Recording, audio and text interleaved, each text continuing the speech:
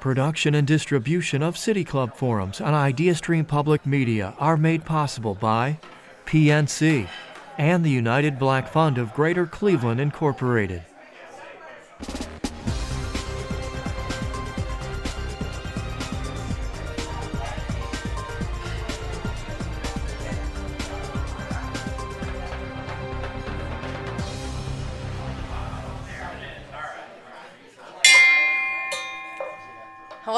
And welcome to the City Club of Cleveland, where we are devoted to conversations of consequence that help democracy thrive. It's Tuesday, May 9th, and I'm Patty Schlonsky, member of the City Club Board of Directors. As Cynthia said, today we are officially launching the City Club Book Club with Paterson Joseph's novel. The City Club Book Club was put on hiatus due to the COVID 19 pandemic, and the actual date will be sometime in July. The book club began out of a com- community interest to discuss noteworthy titles covering democracy, equity, free speech, and of course, history. We have hosted, hosted authors like Anand Giridharadas, author of Winners Take All, and Matthew Desmond, author of Evicted, and convened the book club around their books. Today, I'm pleased to welcome Paterson Joseph, award winning actor and author of The Secret Diaries of Charles Ignatius Sancho, which will be our next book club book. In Paterson's debut novel, the story of Charles Ignatius Sancho is one that begins on a slave ship in the Atlantic and ends at the epicenter of London life. Sancho would become the first black man to vote in Britain, and he would lead the fight to end slavery in the country. The book received glowing reviews from the New York Times Book Review, The Guardian, and Kirkus Reviews, which called it an entertaining portrait that also illuminates the opportunities for black people in 18th century London.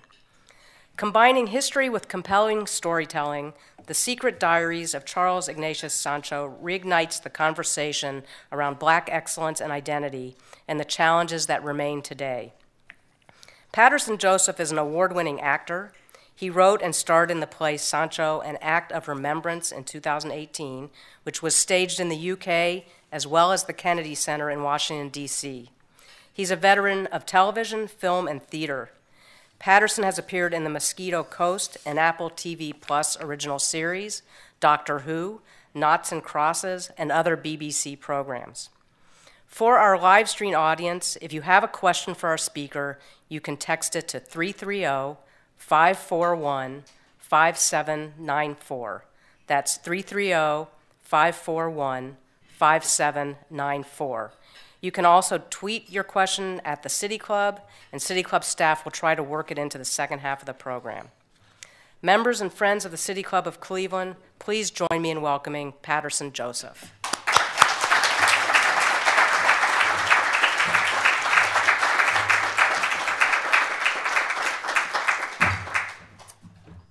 Good afternoon, everybody. Um, thank you for the wonderful welcome. Um, I am stunned, I think, by uh, how well received the novel has been. I was going to write it anyway. People now are asking me, when are you writing your second book? And I'm like, nobody wanted the first one. So but the fact that it's been well received has allowed me to, I suppose, think while I'm speaking about why I wrote it. Often, as a creative, you make something just because you feel like, I've got to make this, whether that's a piece of music or uh, a work of art. And then afterwards, when people ask you questions about it, you then begin to think, yeah, why did I want to paint that, draw that, sculpt that? Let me really think about that piece of music or that poem or that bit of writing. And it's helped me. It's almost been therapeutic, in fact. So let me start from the beginning. Why Charles Ignatius Sancho and why a novel, The Secret Diaries of Charles Ignatius Sancho? I was born in 1964, full disclosure, and my parents are part of the Windrush generation. Few people nodding in this room, some who aren't quite sure what that is. Well, the Windrush was a ship. It was the HMT Empire Windrush, and it sailed from Montego Bay in Jamaica to Tilbury Docks in London, landed in June 1948, on the 21st of that month. The next day, the passengers disembarked. There were about 1,200 passengers, 805 or so of which, and two stowaways, were Caribbean. The two stowaways, actually, fascinating stories, but that's another tale. This was a generation of African Caribbean people who had been part of the British Empire and who were at that time. Some had fought in the Second World War, and some had helped with the war effort in the Caribbean. They came because the call came out to them to help post war Britain rebuild its structures and rebuild its uh, national uh, railways, uh, bus systems, roads, uh, buildings, all of that. And they came. They came in their hundreds. From 1948 until the immigration laws changed in 1962 when they began to close the border because of racial tension and the usual complaints that all of these people, these strange people, were coming into our white country. Then Britain's, Britain didn't know who these people were. They'd had an empire for hundreds of years, but they didn't know who these people were. The Caribbeans absolutely knew where they were coming to. They were coming to the mother country. But here's what they found hostility, ignorance, violence, and aggression. My generation of, of, of, pupils, we were called subnormal, educationally subnormal. We knew this was happening. I knew this was happening from the day I went to school at four and a half. And the teacher literally rejected me. I could see her rejecting me instantly. I didn't know what this was about until about, I suppose, 35 years later, when one of my teachers, a Goan teacher called Miss Bird, Mrs. Bird, the late great Mrs. Bird, she said to me, when I talked to the nuns who were running the convent that you were going to about educating the black pupils, they said, there's no point. They'd never learn. And so this generation is called subnormal, and there's a BBC documentary that you can find that will show you how we were treated. Any inkling of any disruption in the class, you were sent out, you were excluded, you were suspended, you were expelled, you were sent to the lowest group for learning. I rejected school and ran off to the library most of the time. The world I'm living in now, in Willesden Green, northwest London, is a world where on every brick wall, every other brick wall, certainly on every street you'd see it, painted in white, trigger warning to anybody who doesn't like to hear this, but this is the truth. Nigger, go home. Wogs, out. Blacks, go home. Britain is a white country. And you're seeing it not only officially, you're seeing it on the streets, you're seeing it everywhere. And as always, what do we do? We get on with it. We just get on with it. We go round it. We go through it, under it if we can. And you just get on with your life and you just do your stuff. Now, I'm at this point, when I think about writing this story, about 35. And I'm playing cards. Uh, I'm in Thailand. I'm doing a movie called The Beach. And I'm working with Tilda Swinton. And uh, as always, Tilda's asking esoteric questions. So I'm about to play the Ace of Clubs, and she says, What would you like to be remembered for before you die? I just, I've just got to play this card. But here, that's a good question, Tilda. Um, do you know what? I would like to write a play, a book, film, a novel about black British life before the Windrush. Because I've heard rumours that there were black people here, and I want kids to know who they are my generation of, of kids didn't really know who they were, and so I want the next generation to know. Okay, she says, and off on we go. Carry on playing cards. I think I lost that turn. Because I was distracted by that, and I started to research instantly. Because here's the question I would get all the way through my life. So, say I'm about six and a half, and I'd get somebody saying to me, So, uh, where are you from? Uh, Park Royal, I would say. It sounds posh, but it's basically where the biscuit factory is in, in northwest London. And then they'd go, No, where, where are you from originally? And you can tell they're getting annoyed, but you carry on anyway. You say, Willesden Green, which is where we lived.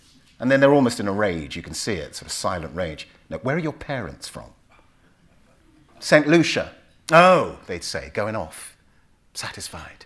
So I was like, wow, I want to tell a story that means that my son, who wasn't born yet, would know how to answer that question instantly and be able to say, I'm English. Right, that's a big deal. I was in Oxford not too long ago, and I said this I'm English. And it's a good crowd of liberal white people, mostly. And I, I say, I, I feel it too. And they laugh in relief. I said, I know. But when I go to France, I can't go like I used to. Je suis britannique. Vous venez d'où? Uh, je suis britannique. Je suis londonien. They go, well, you can't say I'm a Londoner or I'm British. I'm British sounds like I'm the crown jewels. I am the king. You can't say that. You have to say what everybody says. Vous venez d'où? Where are you from? Je suis anglais. Ah, they say. You can't say that in England. And even younger generation of people, you say, Where are you from? Are you English? They go, No, I'm not English. Well, what are you then? Um, because their parents came from Jamaica or their grandparents came from Jamaica. I'm, I'm, I'm, I'm half Jamaican, half British. That, that, that's not a place. And then, by the way, if I go to St. Lucia, where my parents are from, you hear what they call me? Englishman. I walk too fast. I talk too fast. My eyes are too big. I'm too curious. I'm not from there. They know I'm not from there. So where do I belong? So Sancho became a sort of catalyst for this idea of belonging. So how did I go about it? First thing I did was dig up some research. There's very little in 1999 online. There's a guy called Brycchan Carey who'd been writing a little bit about black history. But before I found him, I got to, uh, I sort of got a hint that there was a book out there called Black England, which was written by a lady called Gretchen Gerzina, who is uh, an African American scholar, uh, writer, and historian. And that was the book to get. I opened this book and I was stunned to find that there was a man who was emperor of the Roman Empire who came to Britain in about 192 AD, and he came with his wife and his two sons, and his name was Septimius Severus, and he was from Libya. What? I mean, I'm 36 now. I've never heard this. He came from Libya with his wife, Julia Domna, who was Syrian, and his two sons, Geta and Caracalla, and they ran Britain. They rebuilt Hadrian's Wall. And I'm already stunned. They brought 50,000 troops, possibly from Eastern Europe, certainly uh, North African and sub Saharan African, which is why my blonde haired, blue eyed friends are finding African DNA when they do their DNA studies and Eastern European DNA, and they thought they were Irish or they thought they were Scottish. And I'm stunned by this. I mean, I, I come across John Blanke with an E on the end. He was the trumpeter for Henry VIII. There's a tapestry called the Cloth of Gold tapestry to celebrate King Arthur, uh, Prince Arthur, uh, King Henry VIII's son. And there he is, John Blanke. He's in the record books, and many other black musicians, which came from the court of Catherine of Aragon, because the European courts had black musicians. There's Queen Elizabeth's decree. Queen Elizabeth I, this is Shakespeare's queen. Her Majesty, seeing that there are of late so many blackamoors in the realm, decrees that there are too many of those kinds of people in the land. They must be sent forth of the land and transported out of the realm. And so apparently there was a scheme to hire a boat to take them all to Spain to re enslave them, and no one turned up, which I always say in my one person show that is African time turned weapon of self defense. no one turned up. She didn't sign that decree, but the fact that they had created this decree meant that there were enough black people to use the usual excuse the reason our economy is tanking, because it was at that point, is because of these people. An old, old playbook. So here I am now, finding out about these people, and then I open this book and I see it's a black and white print of a man, a black man, and he's looking off to our left as we see the, the picture. And he's got a, a sort of smile on his face, a knowing smile. He's got a bright red waistcoat, so bright, it's extraordinarily bright, it's Disney bright, pinging out. And it's gold braiding and gold buttons and a dark blue frock coat, and his hair is beautifully coiffured. And it's Sir Gainsborough, and he looks like, I'm amazing, aren't I? I know you think I'm pretty special. And you may well be right. But I'm thinking, who is this guy? And, and also, his hand is in his waistcoat, which is a sign, a symbol of a man of leisure. I find out that it was painted by Thomas Gainsborough, one of the, the best, I would say, portrait painter of the 18th century. Painted in 100 minutes in a place called Bath in the west of England in 1768. And he is the valet to the Duke of Montagu at this point. And I think, I've got to find out about this man. And I do. I find out that he was born on a slave ship in 1729. He was orphaned by the time he was three. He was baptized in Colombia, and then at three years old, taken to England to live in Greenwich with three spinster sisters. We don't know who they are. He never mentions who they are. He only says that they stopped me from learning to read. He ran away from home at seven years old, was found by John, Duke of Montagu, who believed in the extraordinary idea of black intelligence, not subnormal, black intelligence. There's intelligence there. If they were only allowed to be educated. He saved and rescued a number of black people too from slavery, John, Duke of Montagu. He finds this kid in this, uh, in this huge park and he says, I want to educate you. And the sisters say, no, no education. Like young black boys sometimes I grew up with, if I got a book out, oh, you're trying to be white. That story of you cannot read, what are you trying to be? Who do you think you are?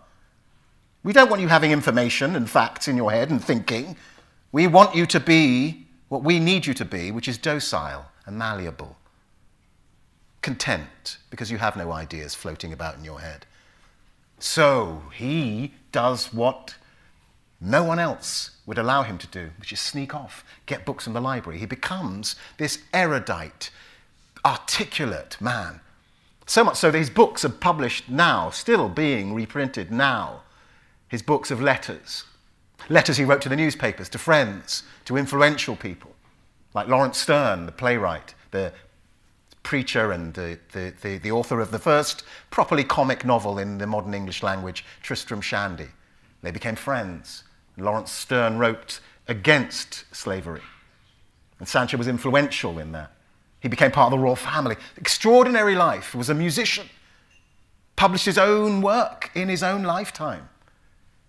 And he was also a shop owner. There were no racist laws about voting, there were only gender laws. Women couldn't own property.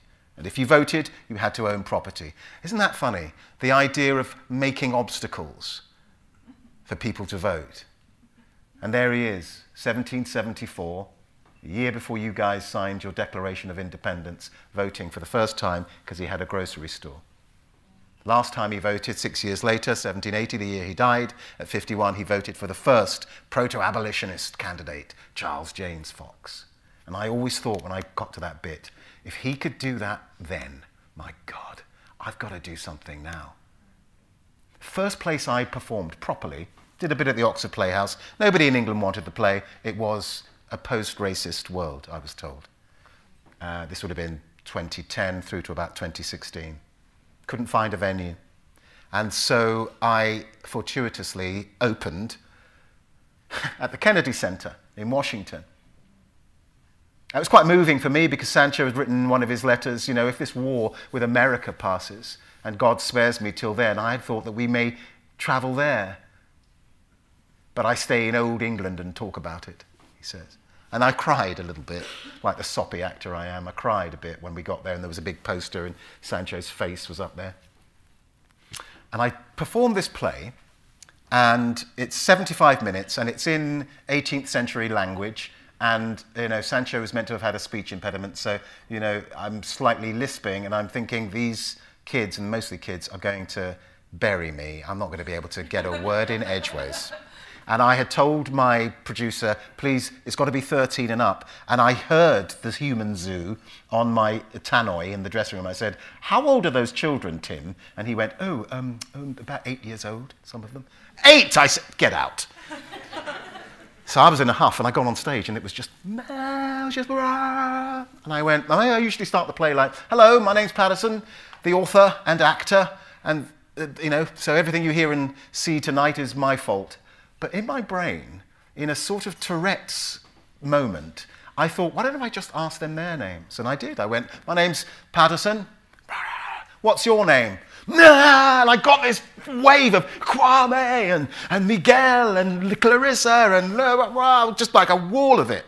If I had hair, it would have blown it all off. And then my producer was up there going, What do we do? How can we help him? The lighting guy said, He got himself into this trouble, he can get himself out.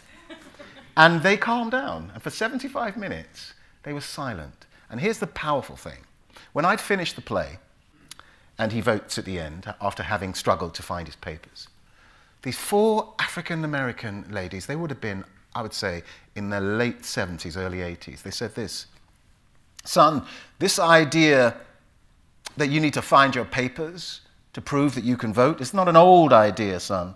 That's happening to us today. And I was arrested. I was completely and utterly surprised that I had written a play that was so pertinent because I thought, we're living in a post racist world. This is an old story. No, it's not. It's happening to us today, son. And I, and I became a sort of advocate for linking, if you like, what's happening in the African diaspora globally with what's happening with the African diaspora in America. You're not an exception, by the way. Slavery was global. Most of the captive Africans went to the Caribbean and to Brazil.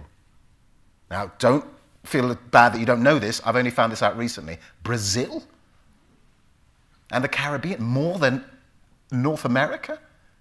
These are stories that are so global that you can find them in Russia. You can find them in Norway, in Scandinavian countries, Spain. You can find them in, uh, obviously, in South America. You can find them in North America. You can find them in uh, Nova Scotia. You can find them every, everywhere Europeans ever went and everywhere they used captive Africans. You will find our stories. And this is a British story. And I'd like to read a bit of the beginning of it, if I may. And I will begin uh, with the opening. Why a novel? It's the most intimate form of storytelling. Squiggles on a page, hieroglyphs, if you like, as Sancho calls them. They become, if you can decipher them, images in your head and memories, indelible memories. And no one's between you and the word. No one. That's why it's so precious.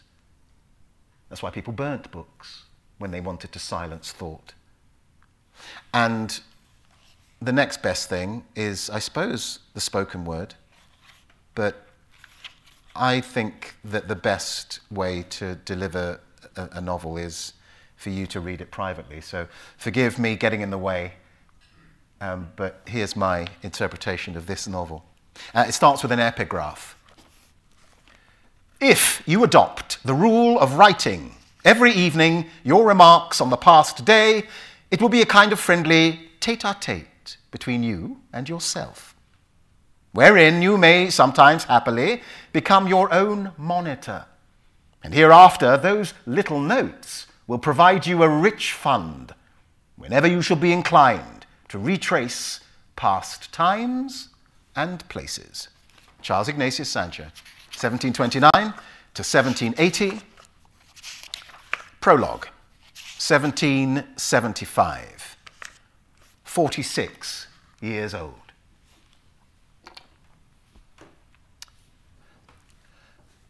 Time away from one's diary is as valuable as a little time away from one's lover. Absence not only softens the tender feelings toward the beloved other, it also provides the benefit of perspective that renders the object of affection so much more precious and beautified. So, too, with quill, ink, and leaf, I reunite my body with my mind, and the pleasure this act gives me has grown rather than diminished. For I speak and write to purpose now I seek to lay forth a history that speaks of all the truths of my life up to this present day, to survey, like the architect of my own life, the line I have followed that brought me here, my history. Not chaotically rendered as in my earliest diary entries, no, as I see them now, put together to make sense of the whole. This for you, my son, William Leach Osborne Sancho. Born last Friday, the 20th day of October, at exactly half past one in the afternoon. My second son, my only living son.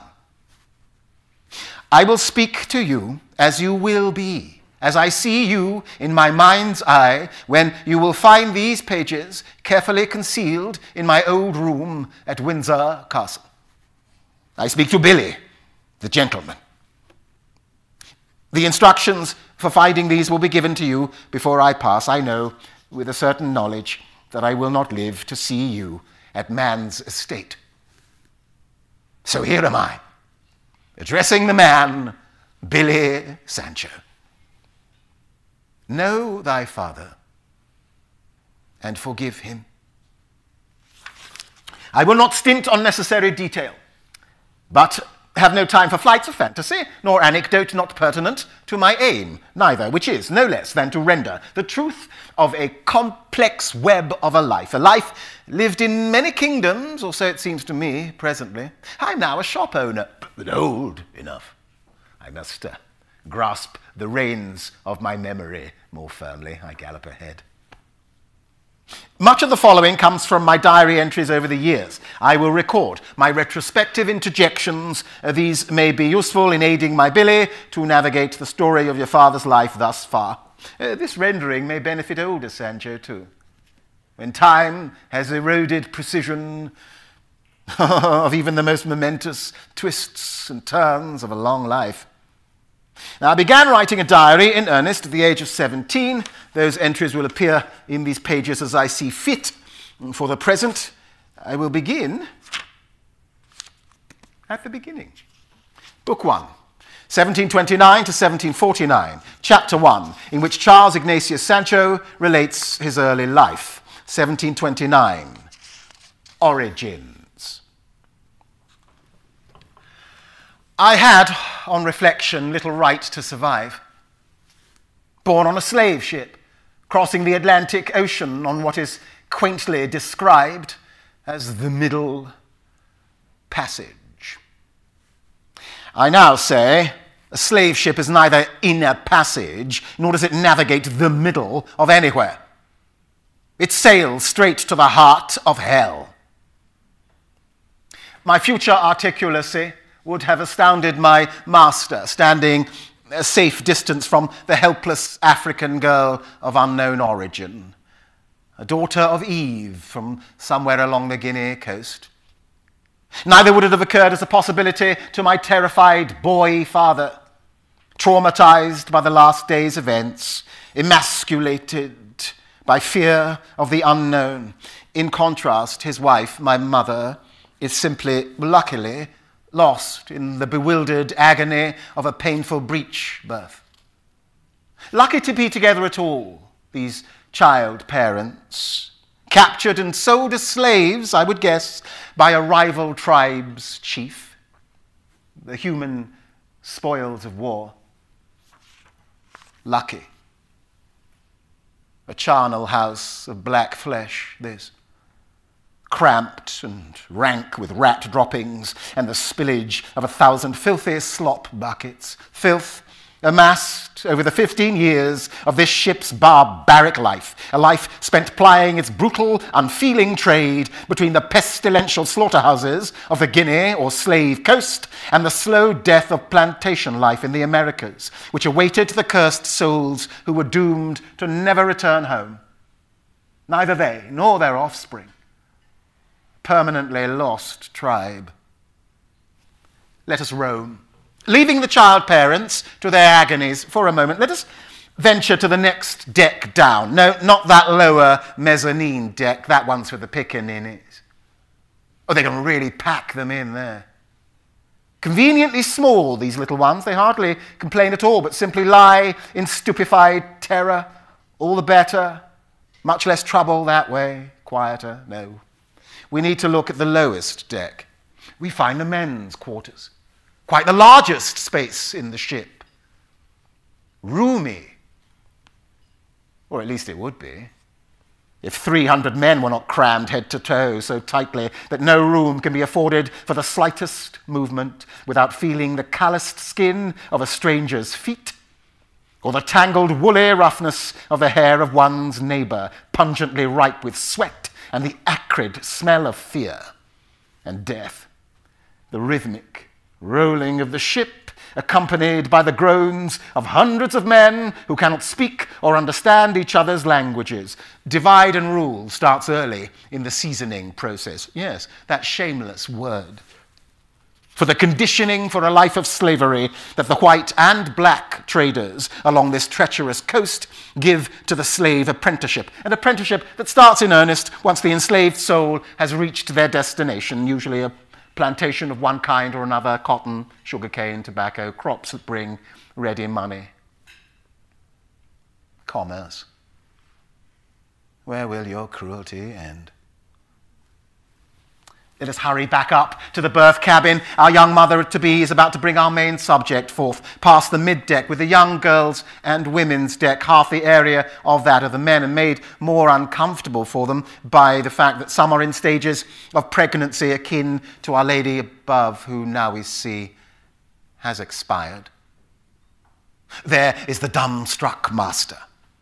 The surgeon charged with midwifery duties, guiltily sullen. The near catatonic gaze of the frightened boy father, now without a soul who knew him free. He has the fleeting notion to bolt from the room, broken, perhaps to fling himself overboard, broken by the loss of his wife, his life's companion. Futile. He will be shackled below with the rest. And what of the debris left in the wake of this storm of grief, the, the mewling, puking infant boy, soon baptized Charles Ignatius, after the founder of the Jesuits, and growing strong and round, always round, in New Granada. On arrival, Billy, when first my father, your grandfather, saw that the colour of the majority of labourers on that benighted dock matched his own, he set his eye on a dozing overseer's unguarded scabbard, seized the man's sword, then swiftly slipped the blade from his own guts to his heart before any had time to register the act. He died in merciful seconds, and my world contracted yet again. This the story I have pieced together from the fragments I harvested from servants' gossip, the indiscretions of my guardians, my own meditations, my nightmares. My story is just that a story, neither better nor worse than any enslaved orphan of Afriques. Thank you.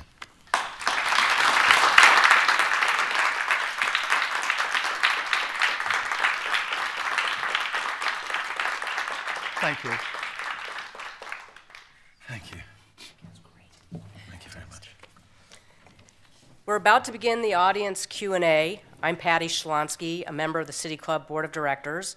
We are joined today by award-winning actor and author Paterson Joseph. We welcome questions from everyone, City Club members, guests, students, and those joining via our live stream at cityclub.org. For our live stream audience, if you'd like to tweet a question for our speaker, please tweet it at the City Club.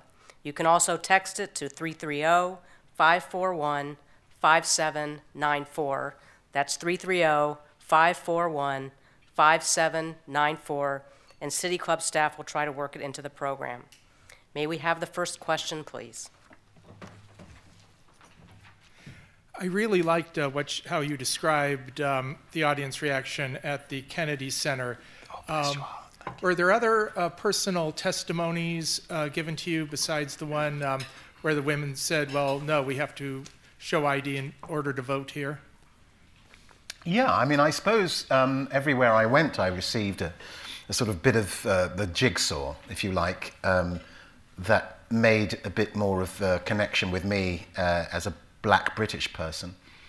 uh, one of the funniest things that happened was I was at the National Black Theatre in Harlem, and it is a space that's been there since 1968. Um, uh, very few people in the neighborhood knew about it back then. This is 2018. I think it's been redone now and uh, a bit more of a showy place. But anyway, uh, I performed the show and I did the Q&A. And an African American man uh, in his middle age, uh, very much looked like a, a, a, teacher, perhaps a lecturer. He got up and he went, after I told them a little bit about um, the Windrush generation in particular. Uh, son, we African Americans, we don't know a lot about the African diaspora outside of our own country. What are you doing to bring together the British uh, diaspora and the uh, American diaspora? And I went, Nothing, I'm just an actor. I'm just doing this play. And I think that resonated with me, though, afterwards, like a seed. Like there is a reach, there is something to be done with that, there is a bridge that needs to be built. Because we both think of ourselves as being exceptional in some ways, we're exceptions. The Caribbean story and the African American story are different. They are subtly different.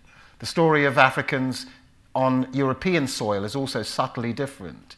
It has its own psychological um, damage and violence. It's not altogether the same, but there are connections that we can make, certainly to do with being um, cut out of the, the story of your nation. Walter Mosley, your wonderful uh, writer, say, says that a people that don't exist in its country's literature can be said to not exist at all. If I've read, and I did, I mean, I, I played truant at school for many years because it was such a hateful system, as I explained to you. I would just hide out in the library, in the local library, and I read, you know, David Copperfield, and I read um, Jane Eyre and Pride and Prejudice and uh, Oliver Twist. And I engaged with these stories 100%. And it's only later when I think, but all of those heroes were white. I did not play a part in any of those stories in any way. And even Dickens, with his wonderful eye view, didn't take in the black communities that would have been around in that time. I mean, there were at least 20,000 black people in London in the middle of the 18th century. And it's a city of only 600,000 people. And they're very visible, not to say you're talking about even the mixed heritage people who would have been part of that group. That's a big demographic. Some enslaved came with their masters, some free, some sailors. But they were there, and to be, to be ignored is a very similar thing to what's happening with the African Americans. So that is, along the way, the thing that has caused me to feel that there is a, a definite bridge and a connection. Hello. Hi, hi, Mr. Joseph. I have enjoyed um, you immensely. I did my graduate work on Ignatius Sancho. Um, I also included uh, Ottobah Cugoano and Equiano, and I'm wondering if you use their stories as well to immerse with uh, Sancho's voice. And, and I'd like to say that uh, I'm enamored at how much you captured his voice in your writing. It feels like him uh, from the work that I did. Thank you. Thank you. Lovely question. Um, so, a younger man uh, who had been captured when he was about nine years old and taken to America and got himself basically uh, freed himself through his own self education and earning money himself, was called uh, Olaudah Equiano. His, if you like, slave name, his captive name was Gustavus Vassa, but he decided to, if you like, find a new name for himself. And Olaudah Equiano is the name. And he uh, came to London, he's younger than Sancho uh, by, by a few decades, came to London in the 1770s, I would imagine, late 1760s perhaps, and he formed a group called the Sons of Africa. Uh, two famous men who were part of that, a guy called James Gronier and Ottobah Cugoano, who you mentioned. And one of the reasons why I focused on Sancho was there's so little written about him. And he himself didn't write a biography, an autobiography, whereas Equiano did. And if you want to find out about uh, the 18th century and the details of what it is to be enslaved in the British um, colonies, that's a great, that's a great um, narrative to read, um, uh, Olaudah Equiano's. But how do we find out about a man who we don't know much about? Wonderful um, writer, uh, historian, and, and, uh, and uh, teacher, Saidiya Hartman, um, African American lady, talks about a thing that she describes as critical fabulation. He's not the first to come up with this notion, and I've been doing it for 20 years, but now I have a nice, fancy American phrase for it critical fabulation. And it's not just making up stuff. What you do is you look and you say, hey, say it's your grandmother, and you go, what do we know about her? She was born in Alabama, she uh, worked in Kentucky, and she died in New York. She possibly was a seamstress. That's all we know about her. Well, that's not a person, that's just a bunch of facts. How do you find out about the person? Well, what you do is you look at other women of her generation in Alabama at that time. What were they doing? What were they up against? What was that migration to Kentucky about? What would they have found in Kentucky? And why did she then move to New York? What were other women doing? So you build a story around other people's stories who are similar, who share a similar demographic. And eventually you'll build a picture. And with research and things are coming out all the time, you'll build a more and more coherent, specific picture. picture. The voice side of it, that's my job. I'm an actor. I'm an actor. I, I immerse myself in whatever character I'm playing, however strange that person might be. I, I did a show here called The Leftovers. Such a strange show. Even I didn't know what was going on. And I'm playing a character who hugs, who hugs the pain out of people. And yet, I have to delve into that character as if I know them and I somehow like them. You have to, even if they're strange characters. And he wasn't a hero by any means.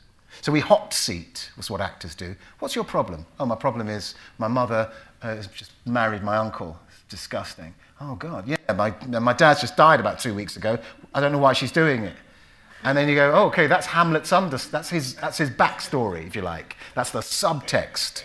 So he might come on and go, oh, that this too-too sullied flesh might melt thaw and resolve itself into a dew. This is not just poetry. It's him trying to express what I've just said in the background, which is my mum has married this man and she shouldn't have done. And, and this is what I was doing with Sancho. Like I had the one-man show, public, because I pretend that you're coming in to see him having his portrait painted. Oh, you see who I am. Well, let me talk to you about who I really am. And I tell a story that way. And then you see him in his shop, his grocery store, and you're coming to visit him, and he's old and he's looking for his papers everywhere in this chaotic store. And then you see him on the hustings, which was a public show of hands. Public, everything public. Portrait, public. A performance. Letters, public. A performance. Hardly anybody could read or write. So the man or the woman of the house would read the letters. So they had to be censored. And so, how do you get to the private? You do hot seating. What did I really think? What did I really think about living with three women who I had to sort of be a comfort to? And not be rude to, and always keep myself silent around. What did I see? What did I smell? What did it feel like to be touched by these women? To have to go to bed to keep them warm? What did it feel like to be fed very well, but know that there are black people around me who were starving? What did it feel like to walk the streets of Greenwich like a pet, dressed up, not allowed to speak? What did it feel like to have all this intelligence bubbling around and no way to articulate it? What did it feel to finally get a hold of an harpsichord and be able to play music? What did it feel like to be in the Duke of Montagu's library and see all those books coming alive and all that information and all those places I could travel to? What was it like unlocking that? And that's really, I suppose, why his voice is authentic, as authentic as I could get it, because I immerse myself in his world and the world around him and in his writing, more specifically.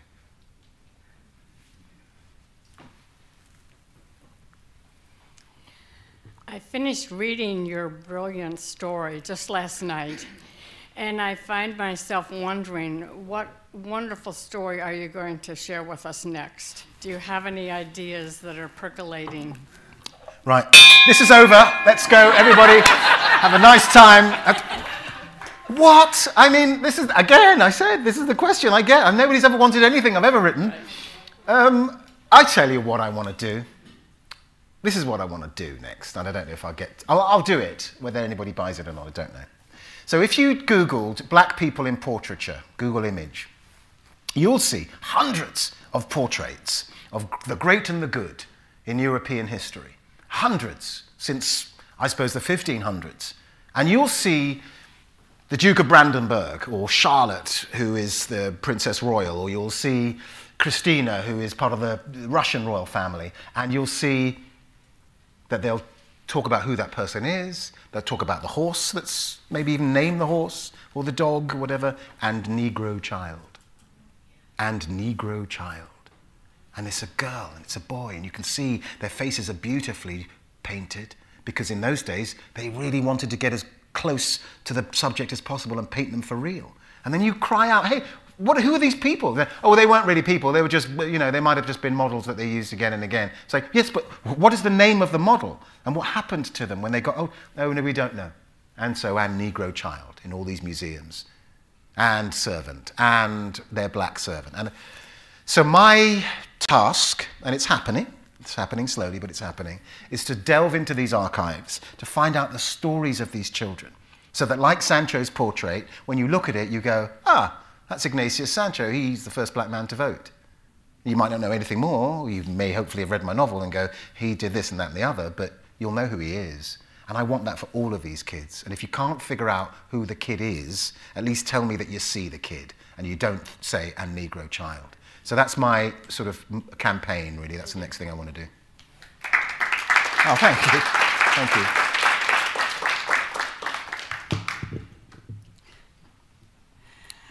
I'm just halfway through your novel. Oh. but I love that I'm going to be able to hear your voice now when I read it. Um, when I first started reading it, though, I could tell right away it was written by an actor. Huh. And I'm wondering how much of the actor was shadowing the author as hmm. you were writing. That's a great question, uh, and you've caught me out. Yes. um, okay, there's a there's a there's a there's, an, there's a sort of compulsion when you're a storyteller of any kind to tell your story in the way that reflects the way you'd like to hear it told. So I think every piece of creation, no matter what it is, has the author in it, whether it's a sculptor or whether it's a painter uh, or uh, someone who makes installations whether it's a writer, a rapper, whether it's a, a singer, ballad writer, you are in that piece of work. And the more you embrace yourself within that, the better. When I first performed the play, we were just sitting around a table at the National Theatre um, studio in London. This would have been 2010. And I remember reading it, uh, the first big version of it, and a, a colleague of mine said, Oh, gosh, that's very autobiographical. And I was enraged. I was enraged by this comment. What do you mean it's autobiographical? I didn't say it to his face, but I was so mad. This is an 18th century man. I'm not an 18th century man. He's a musician. I'm not a musician. What are you talking about? He, he's nothing like me. And then over the years, I, I went, well, of course he is. He, he's a man who was not allowed to learn to read. He was educationally subnormal, just as I was. He snuck away and read whatever he could read, like I did in Willesden Green Library. He was not meant to achieve what he, was, what he achieved, which is very similar to my story. He worried about the next generation, that all these things that I've tried to make space for, the Royal Shakespeare Company, at the Royal National Theatre, all these things that my generation has sort of opened up since 1988 when I left, is it now going to close back in as we drift off into doing movies and people want to do television? Are the next generation going to have to start from the beginning? That's Sancho's worried. Is slavery going to come back? It, no institute, nothing that we've ever done has ever been so solid that it can't be rolled back. We've seen what happened with Roe v. Wade. Nothing is permanent. Things need to keep being reiterated. The Holocaust is being forgotten, rewritten. I'm sure slavery, I mean, I know slavery is trying to be, people are trying to rewrite that too. Britain does not want, any more than right wing America does not want to understand colonialism and understand slavery and understand how important this is for us to talk about as a nation. Nations are families. You're randomly born in a nation, and now you're part of it. It might reject you, your family, but you're still part of that family, like it or not. And so, what family therapist, I will say this, I've said this a few times, what family therapist is going to sit down with the family and go, look, your guys are dysfunctioning, things aren't really going well, you're not understanding them, they're not understanding you, this is terrible, let's do something about it, let's all sit down. And the therapist's conclusion is, no, no, wait, don't tell your stories, let's just forget about everything in the past. and carry on to the future. And off they go, expecting to get paid. You wouldn't pay them a penny. This is nonsense. And so with a nation, it's the same. You can bury everything you want, but the internet exists. And so it will be found out. And woe betide the generation that tries to stop the next generation from learning because you will be hated and vilified, quite rightly. This truth will out. Let's tell it. Let's lance this boil. Let's talk. Yes, sir. Wow. Uh, that was incredible, first of all. Whoa, okay. Oh, thank you, thank you, thank you. Um, so I, I, have a bunch of questions, but I'm only going to ask two. Um, so the, the, the, first question is about your experience at the Royal Shakespeare Company. Huh. So um, I'm about halfway through uh, this book, um, but I first encountered you in the, the production of Julius Caesar.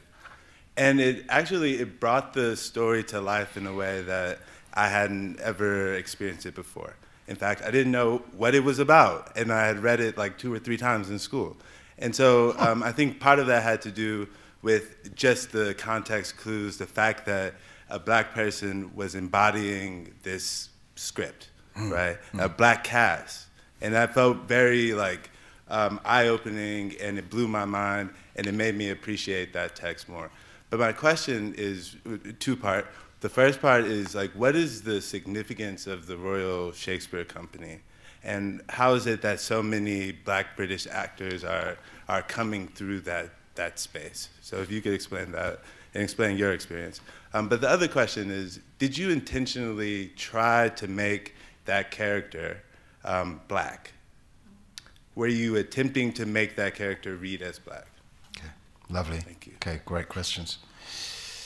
Um, so, Royal Shakespeare Company. Uh, can we talk about Shakespeare first? Uh, very, oh gosh. You know, my New Year's resolution was to be pithy, and I can, I can feel my, my, my partner here just going, You haven't been pithy. Um, so I'll try and be brief. I'll try and be brief. Uh, so I first came across uh, Shakespeare when I was 14 years old. Uh, I accidentally uh, was going to audition for the National Youth Theatre. Accidentally, because my mate, Tony Leonce, who was just like extraordinary, he was doing it. I was like, yeah, I'll do that too. And then he pulled out, but I was left in, to it. Oh, God. So the teacher who did history, I never did drama. Why would I do drama? What's the point of me doing drama? She threw me, and I do remember it as being thrown me, The Merchant of Venice, right? A Shakespeare play, The Merchant of Venice. And she said, you know, just take a piece from that and you do your audition out of that. I was like, oh, I don't even know what I'd, I don't even know what this is. So I take it home and I open it. And oh my God, I mean, this is amazing. Because I'm a mumbler, right? What's your name? What's your name? Patrick. Yeah. so terribly shy. And so uh, I open this book and I think it's a play. It's a play. And what do people do with plays? I suppose they read them out, this out loud thing. So I open this thing up and I go, In sooth, I know not why I am so sad. It wearies me, you say it wearies you, but how I caught it, found it, or came by it, what stuff 'tis made of, whereof it is born, I am to learn. And such a want wit sadness makes of me that I have much ado to know myself. I'm thinking, God, I understand that. This guy's depressed and he doesn't even know why. He's depressed and he doesn't know why. And I'm thinking, I get this, and I can hear it even now, and I can feel it. My skin is like, this is for you. This is for you. You can read this. And I learnt this Shylock speech, and I did the speech. I was too shy to get into this place. I mean, God, the guy asked me, and we don't even look each other in the eye where I come from, right? A man looking another man in the eye is a provocation. That guy's either gay and wants something, or he's trying to beat me up or trying to get my money, which is a terrible thing when you go for a, an interview and you can't look someone in the eye. It's a terrible thing, but it's part of your culture, Dr. P. This guy was like, So, why do you want to join the National Youth Theatre? my instant physical reaction was this. And I said, and I meant it, but I said, Because I like meeting people. And of course, the guy was going, You're going to be eaten alive. We can't bring you into this thing. So I didn't get in. But I remember that Shylock speech. I remember the sarcasm of the speech. I remember the power of being able to say, Oh, Signor Antonio, many a time and oft in the Rialto, you have rated me about my monies and my usances. Still have I borne it with a patient shrug, for sufferance is the badge of all our tribe. And I remember thinking, this is about a man who's been oppressed but they want something from you. We don't respect you, but we need that thing that you can give us. And I, God, I understood that. So come to the Royal Shakespeare Company now, which is, of course, the biggest Shakespeare producer in the United Kingdom. Been going officially really since 1960. Very few lead black actors in that theatre, even over the years. My mate, Dr. Jamie Rogers, has written a book on black and Asian Shakespeareans, which I'm sure you know, and it details just how few there have been. I happened to have been one of them, playing Troilus in Troilus and Cressida. I was doing, whew, I haven't been pivy at all. Let me just try and be quick now. I was doing, I was doing um, Love's Labour's Lost, and I was playing one of the lords who decide to no more women, we're just going to study, no more women, and of course women arrive and they're like sneaking around each other writing plays and sonnets for, this, for these women. But I played Dumaine, and at some point I say, for my transformation, I would like to um, change from this European Edwardian England, so 1900s garb, to an African garb, robe, and can I do that? Yeah, yeah, yeah, yeah, fine. Oh, that would be yeah, very colourful, yes. so off I went, all the things. Then one day I was like, let me do it in an East African accent, because I've done that accent before and I knew it was crisp. And of course, this posho accent that I've got, this weird hybrid accent, was unknown to Shakespeare. Until the Hanoverian kings in the, the, the, the 1700s, no one spoke like this. They couldn't go path, bath, grath, like the people who came from Cornwall, who came founding fathers. Path, bath, getting hard R's. That's how they talk in Cornwall, like that. You go down the path, you go down the grass. And then, of course, that comes to America, and that's why you guys have got that accent. And then, and, then, and, then, and then you do Shakespeare and you try and sound like us. No, we should be trying to sound like you because that would have been more recognizable to Shakespeare. So I always knew that this accent was false. And so let me try and then you start to say, here's a bit of Hamlet. So you go, um, to be or not to be, that is the question. Whether it is nobler in the mind to suffer the slings and arrows of outrageous fortune, or to take arms against a sea of troubles and by opposing end them to die to sleep. This is, this is, this is lyrical in my mouth. And so I start doing this stuff. And the guy goes, This is wonderful. But of course, there were no black people in England before 1948. and so you can't do the accent. So I'm, I, was, I was too young to go get the, and I didn't know enough. So, so for me, when we came to do Julius Caesar, and we all did it, you know, we did the read through, and, you know, they, they did a symposium because they weren't sure if setting it in Africa was going to work. Ridiculous. But they, eh, so we did that. And then, and then just before that, that first reading, I said to Greg Doran, uh, the outgoing artistic director, but he hadn't even been appointed at that point. But I said to him, this is in 2012, do you mind if I um, do an African accent for the reading to, to today in front of the board and all the people who are going to decide? And I could see his face. He was like, yeah, yes, yes. And then he sort of went off worried. I was like, it'd be fine, it'd be fine. So I started in. I started in with this accent. And all the other guys were like, oh, we're we doing that now? And they did. They gradually got into it. And you could tell it sort of elevated everything.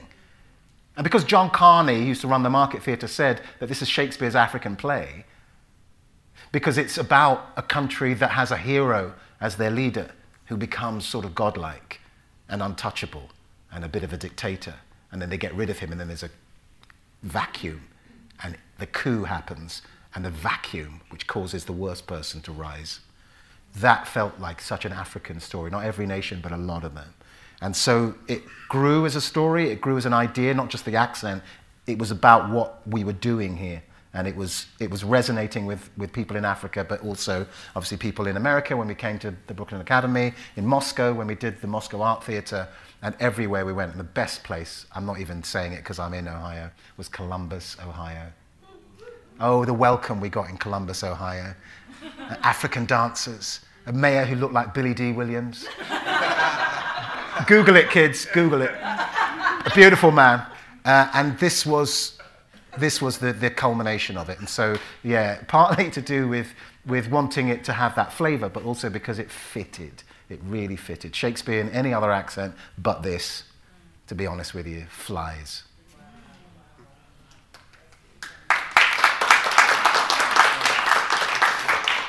Oh, can, uh, if, I, if I promise to be really brief, yeah, can I?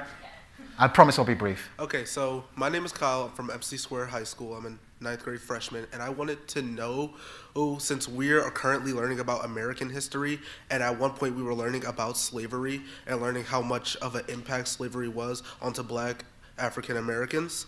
We and now coming here, seeing how it wasn't just America, and seeing that was more just Britain around the world. Hearing your stories, hearing. St- I mean, hearing stories from other people that are not from America.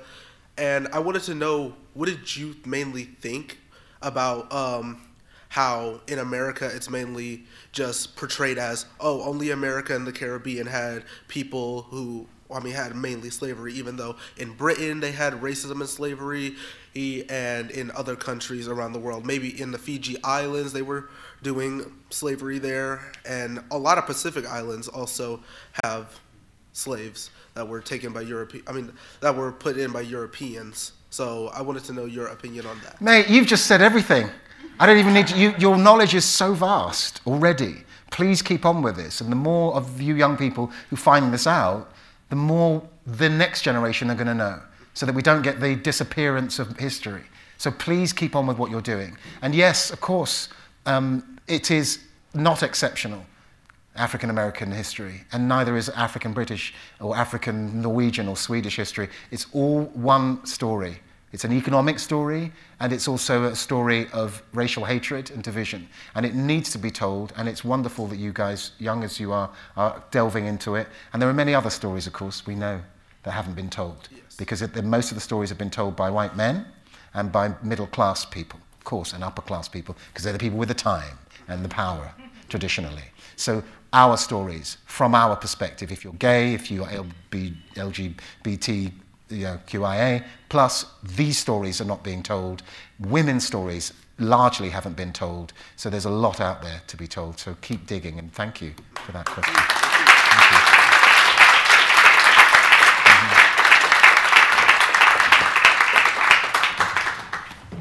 Thank you, Paterson Joseph, for joining us at the City Club, and thank you to Third Space Reading Room for providing on-site book sales this afternoon. Today's forum is part of the City Club's Authors and Conversation series in partnership with Cuyahoga Arts and Culture, the John P. Murphy Foundation, and the Cuyahoga County Public Library. The City Club is grateful for your continued support.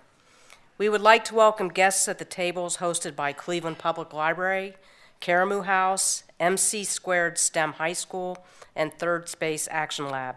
Thank you all for being here today. And just announced, the City Club is pleased to host Chasten Buttigieg, teacher, writer, and husband of Pete Buttigieg, the Secretary of Transportation. Chasten will be here to discuss his new young adult ad adaptation of his book, I Have Something to Tell You. Also, on Wednesday, May 24th, the City Club will highlight the evolution of women's basketball in Cleveland, featuring speakers from the NCAA, WNBA, the Cleveland Cavaliers, and Cleveland State University. For information on these forums and more, visit cityclub.org. That bring us, brings us to the end of today's forum. Thank you once again to Paterson Joseph, and thank you members and friends of the City Club. I'm Patty Shlonsky, and this forum is now adjourned.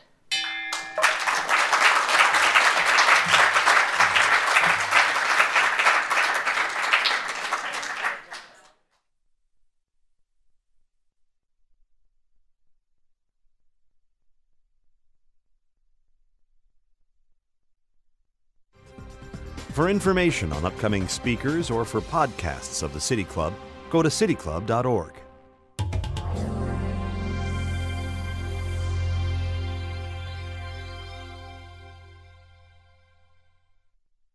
Production and distribution of City Club forums on IdeaStream Public Media are made possible by PNC and the United Black Fund of Greater Cleveland, Incorporated.